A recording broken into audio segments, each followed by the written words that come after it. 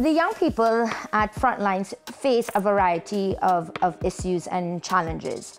Uh, the Weston Mount Dennis and even York South-Weston is one of the poorest ridings, not just uh, in Toronto, but across Ontario. You have food insecurity, you have violence, you have low academic achievement. You're also discriminated by postal code. So even for young people trying to get employment, in different organizations, they are met up with discrimination. My name is Stachen Frederick, and I'm the Executive Director of Weston Frontline Center.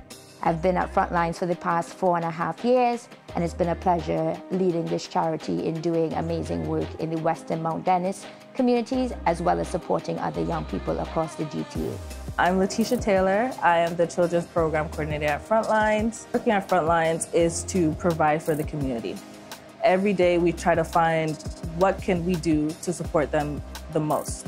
So we did the after school program and providing them with homework and cooking skills and then it's like, okay, what's next? In the summer of 2018, um, I was looking for, you know, more, I guess, serious or more formal opportunities to give back. It made perfect sense to me that Frontlines was a place to be able to do that, especially in a community that, that has the needs that, that Weston, uh, Weston does. My name is uh, Asquith Allen. I am the chair of the board of directors here at uh, Frontlines.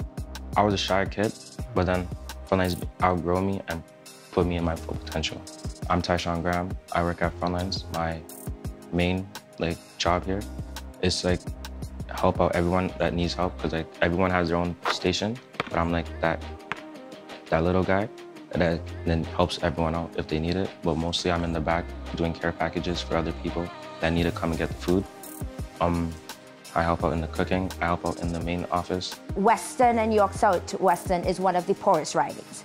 Now, when you put in COVID, you're seeing on the news how people in low-income, marginalized, and racialized communities have been severely impacted by COVID-19.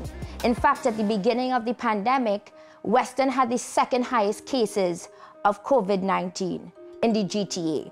And that's because of low income. My greatest worry is that there's a kid probably 12, 13, 14 who, without the help of Frontlines, wouldn't be able to envision or access certain opportunities.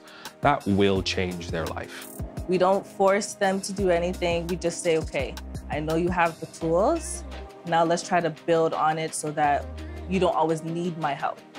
So what can I do? How do you learn best? Are you a visual learner? Are you, do you need examples? So I always have a piece of paper and I do it with them. The mission is to address the pressing needs of children and youth of Weston and surrounding communities. And we do that with a vision that our communities will be a place where our young people feel that there's safety, that they experience true value and well-being. It's that envisioning that I have for Frontlines, but it's it's the envisioning that I want the kids that we serve to have for themselves. A few youth, about 10, used to come in on Wednesdays night and we'll talk about violence in the community and how to stop it or how they feel about it. And then we'll make a meal related to whatever the topic was. So if we're talking about bullying, we had our meal was jerk chicken and we called it like, don't jerk me around.